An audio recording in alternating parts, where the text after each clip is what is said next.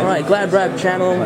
Here with Joe Cordina, now the uh, WBA international champion. Have I got it right? Yeah, international. So that was your first professional fight with Hakim Ben Ali. Yeah. Tell me your thoughts, man. What was it like? it was my, my seventh professional fight. Okay, so- My first for the title. Got it, so got it. My first title fight. Um, uh, yeah, and it's in my hometown, which for me I can't ask for more. Um, got the got the stoppage win. Saw you repping the Bluebirds as well. Yeah, of course. Yeah, yeah. There's my hometown. Got it, got it. So, um, what was the atmosphere? Have you fought out here in the Principality Stadium before? Yeah, I, I boxed on the, the Joshua Takam card. Okay. I was the fight actually the one before Joshua, so um, I experienced all these these this, this big this, these big shows before. I boxed in um, in Wembley when Joshua boxed against Klitschko. I opened the show there.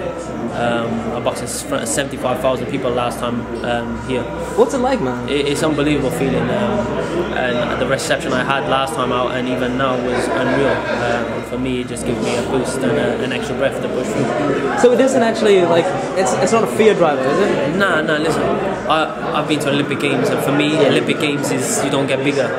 And for pressure and for, for nerves, that was the most um, pressure and nervous I've ever been. So this, I'm not. I can't say it's a walk in the park because it's far from that, but um, it's definitely different. It's different. So you put him down about three times. Three times, yeah, the guy who kept on coming up. So um, what was it like? Were you just trying to trying to pressure him and finish it off early? I knew he didn't have the power to, to, to hurt me, um, so I was just trying to sink my jab into his head, uh, sink it, um, my jab into his body, and uh, bring it up to the head, and then work off it, work off onto the body. And um, every time I was hitting it to the body, he was wincing. So for me, it, was, it only made sense to just keep targeting, targeting that area. Yeah, what's it like living with Ricky Burns and training with him and just with these champions? I mean, how does that help your mentality? Training with, uh, I train with um, Ricky Burns, three-weight world champion, Martin Ward, um, who's Commonwealth, British and, um, and European champion, uh, John Ryder, Ted Cheeseman, um, Felix Cash, Conor, Conor Benn, um, all these fighters, they're great fighters and we're all hungry and to me training alongside them, it, it only brings me on and, and seeing how Ricky Burns trains and, and how he lives, how he how he does everything in the gym, it just gives me an extra boost because I, I get to see it and I get to join in and, and, and, and live the, the sort of the professional life as he's living. Do you purposely surround yourself with these kind of people that have achieved such success in their careers? Like, does it It- for me, it only makes sense. Yeah. It only makes sense. There's no point staying um, trying to do your own thing because you're, you're, you're in the dark. With when when you got people like Ricky Burns and Martin Ward and John Ryder and all these people that have um, have done big things in boxing, then um, why not why not learn off them? Are they quite open with giving advice? Or course. okay. Ricky Burns is. Uh, I try and pick. I just I watch him all the time. I watch him. We go to the gym together. Um, any advice I need, I'm sure he will give it to me. And um, I just I, I take a lot from him. He's a big inspiration. And I'm sure he benefits with hanging with a young champ as yourself, right? Seeing that hunger.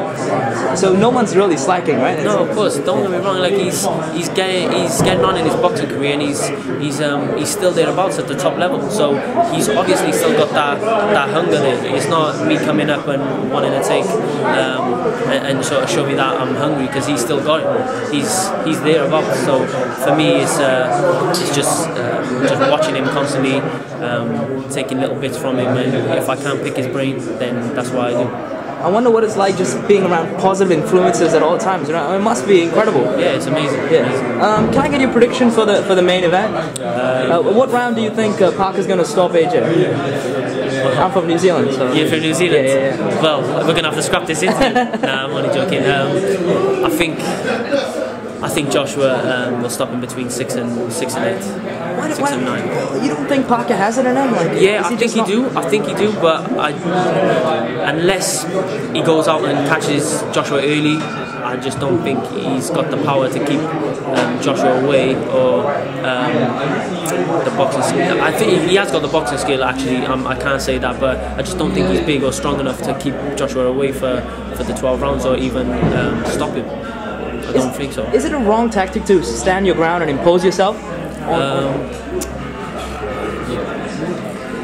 nah, in the heavyweight division, if you, you start standing there and, uh, and, um, and both working away and you're, you're both having um, a slugfest and a war, it's only a matter of time before one of them shots seep through the gloves and, and land. So, yeah, at that heavyweight division, I, I just think it's um, a bit stupid if you start standing and holding your feet. Joe Cordina, thanks for your time. Thanks for your prediction. Thank you. Thank you. Thank you.